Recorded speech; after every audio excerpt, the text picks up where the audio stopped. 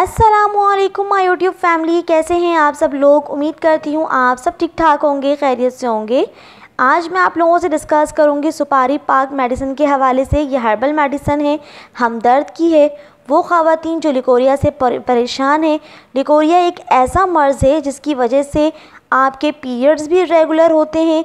इसके अलावा आपको पेनफुल पीरियड्स रहता है और मोस्टली ख़वान जो है ना, वो इस वजह से बाँझपन के शिकार रहती हैं। आज मैं आप लोगों से जो है वो सुपारी पार्क के हवाले से डिस्कस करूँगी। इसे किस तरह से इस्तेमाल करना है, इसके और जो और क्या क्या पर्पज़ हैं इसको इस्तेमाल करने के। तो इस वीडियो को एंड तक देखिएगा और वीडियो स्टार्ट करने से पहले मेरे चैनल को सब्सक्राइब कर दीजिए। वीडियो को लाजमी लाइक किया करें शेयर किया करें। प्लीज़ प्लीज़ प्लीज़ अब आते हैं मज़ीद इन्फॉर्मेशन की तरफ़। सुपारी पार्क जो है, ये ख़वातीन के लिए बनाया गया है। चाहे वो मैरिड हो या अनमेरिड हो, हमदर्द की ये हर्बल मेडिसन है। ये लिकोरिया की शिकायत के लिए बहुत ही ज़बरदस्त है और वो ख़वातीन जिनके पीरियड्स जो हैं, वो इरेगुलर रहते हैं या फिर वो ख़वातीन जो कंसीव नहीं कर पा रही हैं तो वो भी इसका इस्तेमाल करें इन फ़ायदा होगा। लिकोरिया जो है, ये आपको अंदरूनी और जिस्मानी दोनों तरीके से जो है ना, कमज़ोर करती है। जनाना कमज़ोरी की जो एक अहम वजह है वो लिकोरिया है। हर वक्त जो वाइट वाटरी अगर डिस्चार्ज होता रहेगा तो ये आपको कमज़ोर करता है।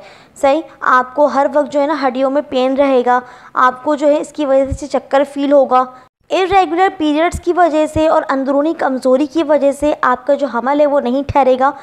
हर वक्त जो है वो वाइट वाटर जो डिस्चार्ज होने की वजह से आपको इचिंग रहेगी और बहुत ज़्यादा जो है ना ये बदबूदार पानी होता है जो आपके अंदरूनी और जिस्मानी कमज़ोरी के साथ साथ ये आपके जो है ना जहन को भी कमज़ोर करता है। तो इसका इलाज जो है ये बहुत ज़रूरी है और इसके लिए सुपारी पाक बहुत ही बेस्ट बेस्ट बेस्ट हम, हमदर्द की हर्बल मेडिसन है।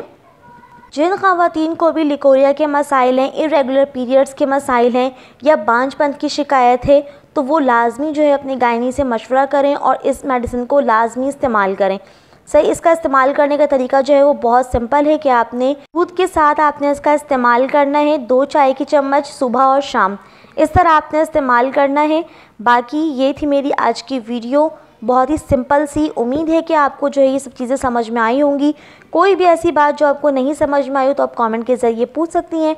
अपना ख्याल रखें, मुझे दुआओं में याद रखें। अल्लाह हाफिज़।